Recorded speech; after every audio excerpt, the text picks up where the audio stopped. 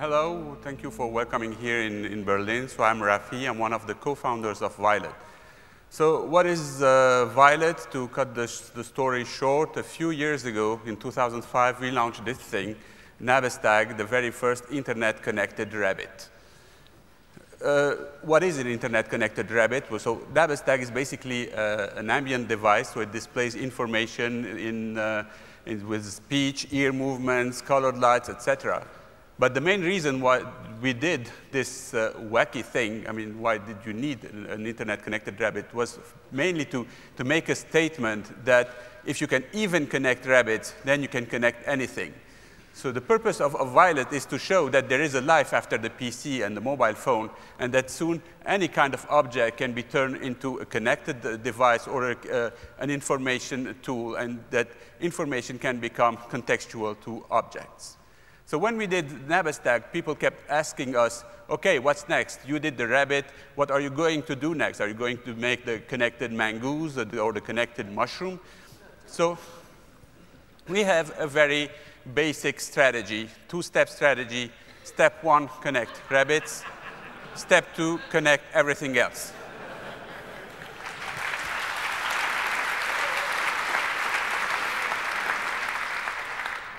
So since we have completed step one, now we're moving forward to step two. but why? I mean, why do we believe to, uh, of the inescapability of the Internet of Things? There are billions of reasons why you can we believe for the, of the Internet of Things. I, I just chose one at random, what we call escaping the data fishbowl. What we have today is data information services that are like fishes in a fishbowl and they are trapped into the water. There is no way you can take them out of their context. You need to go there sitting in front of your fishbowl to watch the information. And you live in, the, in an environment where all the data is concentrated in a certain uh, point of, in space, and the remaining stuff in your environment are dumb, unconnected, and, and unpersonalized. So what we imagine is a way or ways to, to have information spreading out all the way, going into every kind of object you are, uh, you are touching and dealing with, and not having it concentrated in a certain places uh, in, in place.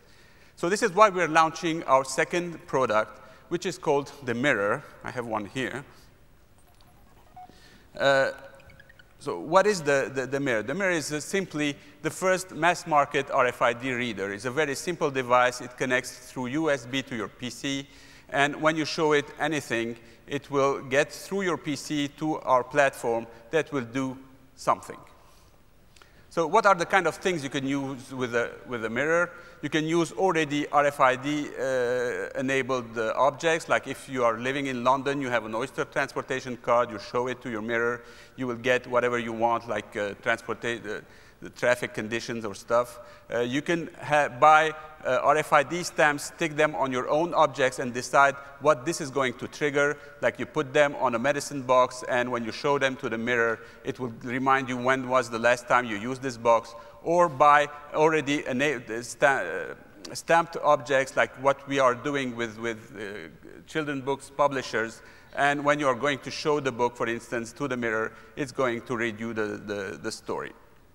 Doing or programming a stamp is very easy. You go to the website, you choose among application, uh, you attach them to the stamp, and the next time you show your, like, your umbrella to your mirror, it's going to give you the weather forecast in, through a big picture and read you the Guardian uh, through speech. So this is very important because it's not about just having objects triggering and opening like web pages. Because if you are doing that, you're just doing a book of any physical object, a bookmark. What you have to, to, to imagine from a design perspective is a user that is standing in front of his PC with his umbrella on hand on his way out of home. So we are just using the PC as a display device, but not, so, so it's the PC which is the peripheral to the, the, the to the, to the mirror and not the mirror, which is the peripheral to the, to the PC. So you need to, to imagine new ways of displaying the information and not just basically opening web pages. You can do this kind of programmation with, uh, with any kind of objects you have. The second important thing is that the object is centric. Uh, the, when you show your umbrella to your, uh, to your PC, it will give you the weather forecast. If you show it to someone else's PC with a, with a mirror, it will give you the same information. So the information is not attached to the device or to the PC, but uh, handled by the object itself.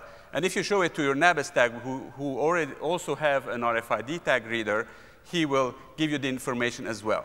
So all the data is stored in a, uh, uh, on the platform and pushed to the object you are meeting on your way so that the, input, the, the applications are related to the object, not to the device. So what are the kind of things you can do with a, with a stamp and with a, with a mirror? Well, to give you a few examples very quickly, uh, you can obviously launch files from your PC. That's an easy one. You show your folder and it opens the related Excel file or whatever on your PC. You can uh, show him, you can launch anything that comes through the internet, show an action figure, and it launches a video or images or, or games uh, or widgets. You can send information outside, so you can have your uh, children keychain sending emails to, at, uh, at the office saying that he's back home. You can post things on social networks. You can have your mug posting automatically to your Facebook status that you are having a coffee break. So, uh, and basically whatever you like. I mean, you can take an, any object, it has an API uh, or, or, other post, uh, easy post mechanism and push the content to your server or your application to do whatever you like, uh, want to do with it. The other th important thing is that not only objects, objects can push information outside, but they can also receive uh, information. So every object have an email address. So even your shoes can have an email address.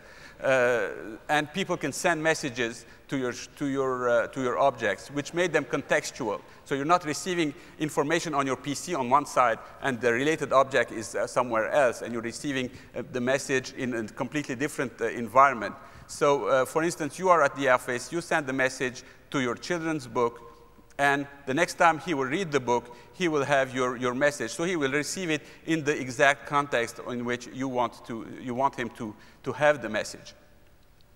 So basically what we're doing is that we are, we are trying to get from a world in which you only have a handful of connected objects to a world where everything uh, is connected. A few years ago, Kevin Kelly said at the conference that he counted the number of stuff he had at home, and he came out with 8,000. And on average, we have like 8,000 pieces of stuff in our uh, Western world houses. So uh, we have only five of them connected today to a network. The purpose of Violet is to connect the 7,995 remaining objects to the internet. Thank you very much.